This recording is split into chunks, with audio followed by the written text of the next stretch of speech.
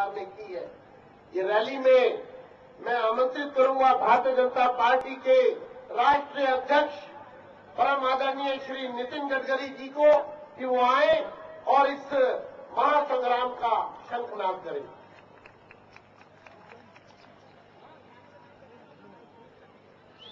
NDA के कार्याध्यक्ष श्रद्धे अडवाणी जी,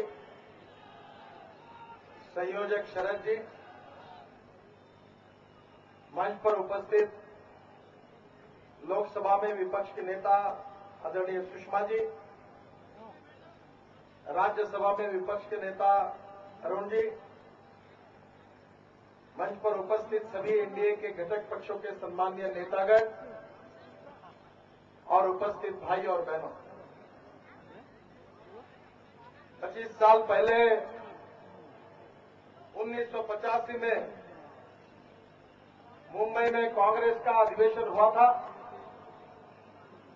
और कांग्रेस शताब्दी समारोह में स्वर्गीय राजीव गांधी जी का भाषण था। उनके भाषण की मुझे याद आई और उनने भाषण में कहा था कि देश भर के लाखों आम कांग्रेसी कार्यकर्ता कांग्रेस की नीति और कार्यक्रम को लेकर खूब उत्साहित है। लेकिन वे लाचार है, क्योंकि उनके ऊपर ताकत और प्रभावशाली दलाल सवार है। जो बात राजीव गांधी जी ने उन्नीस में कही थी, वही बात आज देखने के लिए फिर से मिल रही है। स्वाधीनता के बाद देश के इतिहास में भ्रष्टाचार का अगर कोई सबसे बड़ा घोटाला अगर हुआ है तो इस साल में ये सब घोटाले कांग्रेस और यूपीए पार्टी ने किए ये भारतीय जनता पार्टी ने आरोप नहीं लगाया। ये एनडीए ने आरोप नहीं लगाया। तो केंद्र सरकार को जो सीएजी है, उन्होंने अपने रिपोर्ट में कहा है कि टू जी स्पेक्ट्रम में लाख छिहत्तर हज़ार करोड़ रुपए का घोटाला हुआ है। ये कहने वाली भारतीय जनता पार्टी और एनडीए नहीं है। कोई यहाँ बैठी हुई विपक्षी पार्टियाँ नहीं है।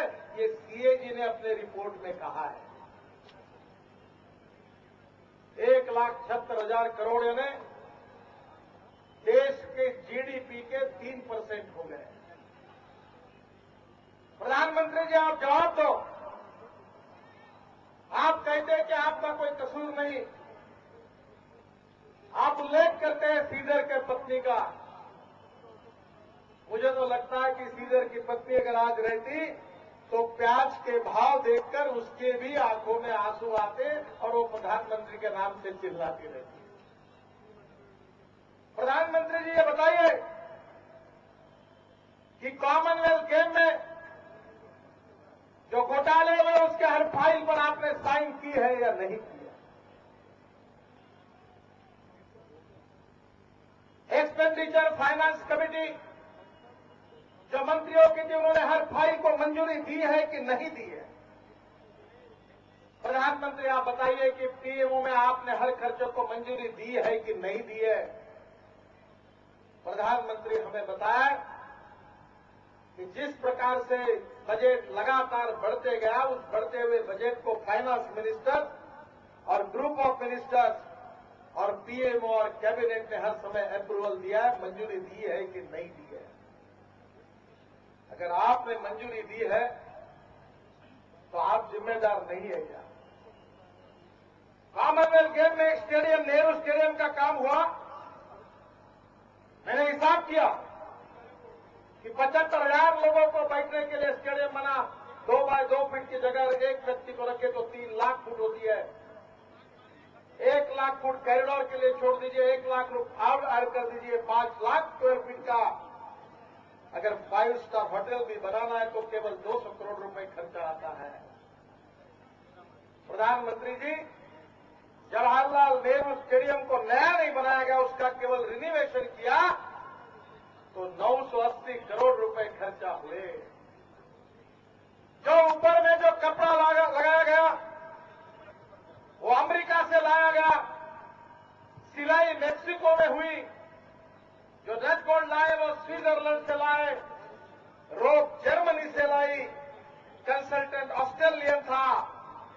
मजदूर ऑस्ट्रेलिया के थे और टाइल्स भी ऑस्ट्रेलिया की लगी और 980 करोड़ रुपए का चुना हिंदुस्तान की जनता को लगाने का काम आपके सरकार ने किया।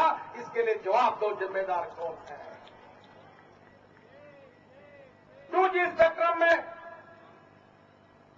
जब महाराज के जो पत्र प्रकाशित हुए हैं, उसमें उन्होंने प्रधानमंत्री को लिखा है, ये मिनिस्ट्री हमारे पास है। ग्रुप ऑफ़ मिनिस्टर आप बना रहे पर इसमें जो प्राइसिंग का क्लॉज है, कीमत तय करने का क्लॉज है, ये ग्रुप ऑफ़ मिनिस्टर तय नहीं करेंगे, ये मिनिस्टर तय करेगा, ऐसी नोट। जब महारान की प्राइम मिनिस्टर के पास और प्रधान सचिव के पास गई तो उसको प्रधान सचिव ने प्रधानमंत्री के आदेश पर मंजूरी क्यों दी? इसका जवाब मनमोहन सिंह जी, आप जनता के सामने दीजिए। कॉमनवेल्थ गेम में भ्रष्टाचार करने वाले मंत्री कांग्रेस के। कॉमनवेल्थ इसमें गेम्स में आयोजन समिति में सभी नेता बड़े से बड़े काम करने वाले कांग्रेस के। सत्तर हज़ार करोड़ का चूना लगाया। प्रसार भारती की केस हमने उठाए वो लाली को भी निलंबित किया गया। अनेक प्रकार के घोटाले सामने आए, जिसका संबंध है कांग्रेस और यूपीओ के मिनिस्टर के साथ। और सोनिया जी कहती है कि हमारा क्या संबंध है? भ्रष्टाचार करने वाले कॉमनवेल्थ गेम में कांग्रेस के मंत्री हैं। ग्रुप ऑफ़ मिनिस्टर्स है। एक्सपेंडिचर फाइनेंस कमेटी के सदस्य हैं। और अगर ये तथ्य सामने आते हैं मीडिया लेकर आती है, हम लोग लेकर आते हैं तो हमारा दोष क्या है इसका? आप जवाब दो। टू जी स्पेक्ट्रम को मंजूरी किसने दी? फाइनेंशियल अप्रूवल किसने दिया? का क्लॉज उसमें से किसने निकाला? सोनिया जी, मैं आपको पूछना चाहता हूँ, आप आपके अधिवेशन में हमारे नाम से चिल्ला रही है? मुझे बताइए, ये टू जी स्पेक्ट्रम में घोटाले करने वाली सरकार कांग्रेस की, मंत्री कांग्रेस के, निर्णय सरकार के, वही कांग्रेस का, कॉमनवेल्थ गेम में परचेस करने वाले जगह आपकी इन्वॉल्वमेंट है और आप कहती है कि हम भ्रष्टाचार पर बड़ी कड़ी कार्रवाई करेंगे।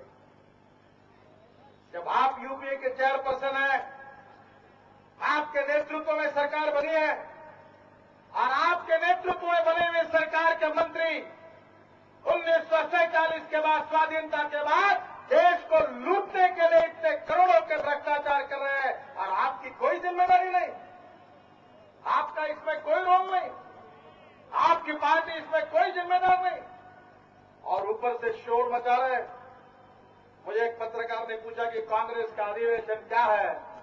तो मैंने जवाब दीजा दिया कि चोर मचाए शोर।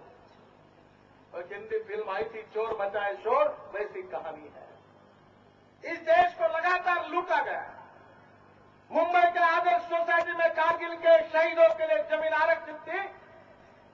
कांग्रेस के उस समय के मुख्यमंत्री ने तीन फ्लैट अपने रिश्तेदारों को अलॉट किए। और उस सोसाइटी में 70 परसेंट लोग कांग्रेस के हैं।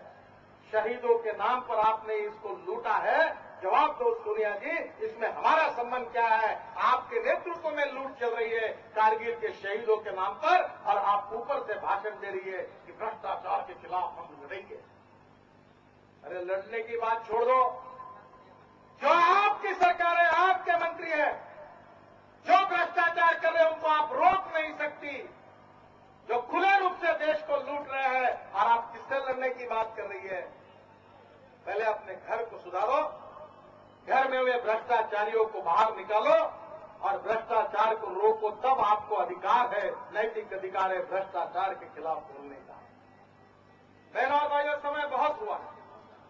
भ्रष्टाचार की कहानियाँ इतनी बड़ी है कि अगर शाम तक भी बैठेंगे तो एक एक कहानी आपके सामने आती रहेगी। मैं धन्यवाद देना चाहता हूँ सुषमा जी को, अरुण जी को, कि संसद के दोनों सभागृहों में उन्होंने जिस प्रकार से संघर्ष किया और हमारे एनडीए के जो सांसद बैठे सभी पार्टियों के शरद जी है, शिवसेना के, अकाली दल के, और हमने जेपीसी की मांग की। अरे भाई, पीएसी के सामने जाने के लिए तैयार है तो जेपीसी की मांग को क्यों ठुकरा रहे हैं? दाल में कुछ काला है या दाल ही काली है? ये क्यों है? क्यों डरते हो? आपको क्यों चिंता है? सुषमा जी ने सवाल पूछा। प्रधानमंत्री जी, आपको सीवीसी की थॉमस साहब की अपॉइंटमेंट के समय देश की विपक्ष की नेता लिख रही है डिसेंट नोट लिख रही है। ये दागी है, इनको नियुक्त मत करो। वो नोट सुषमा जी लिखने के बाद भी ईमानदार प्रधानमंत्री को, जो ईमानदार प्रधानमंत्री कहते उनको मैं सवाल पूछना चाहता हूँ कि विपक्ष के नेता ने कहने के बाद में आपने फ़ाइल पर साइन करके थॉमस साहब की नियुक्ति क्यों की? सुप्रीम कोर्ट ने आपको जिस प्रकार से लटाना है, उसके बाद में आपको ध्यान में आया कि आपने गलती की, पर यह गलती आपने किसके इशारे पर की? इसके लिए कौन जिम्मेदार है? ऐसे एक ने हज़ारों सवाल है। संसद में इस सवालों का जवाब नहीं मिला। संसद नहीं चली। तब अडवाणी जी को और हमारे एनडीए के नेताओं को कहना पड़ा कि अगर लोकतांत्रिक मार्ग से अगर संसद में आप अगर हमारी आवाज़ नहीं सुनना चाहते, हमको दबाना चाहते हैं तो जनता की अदालत में जाकर हम संघर्ष करेंगे। बहनों और भाइयों, इस संघर्ष की महासंग्राम की शुरुआत आज हुई है।